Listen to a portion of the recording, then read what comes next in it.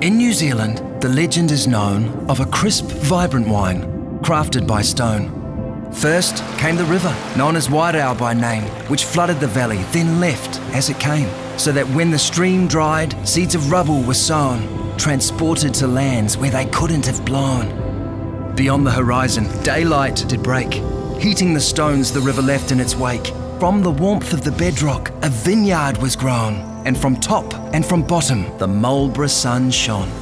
Releasing the heat of the sun in the night, the warmth of the stones set the vineyard alight, creating a land where intense grapes are grown, giving life to the vines with an ember like glow.